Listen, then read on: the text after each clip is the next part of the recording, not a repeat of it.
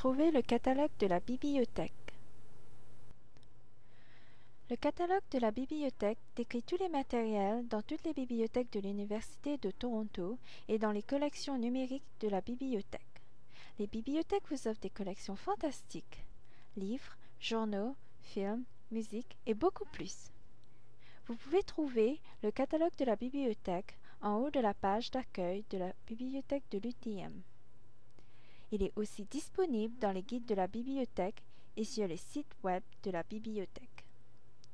Cliquez juste sur l'onglet du catalogue pour ouvrir la boîte de recherche.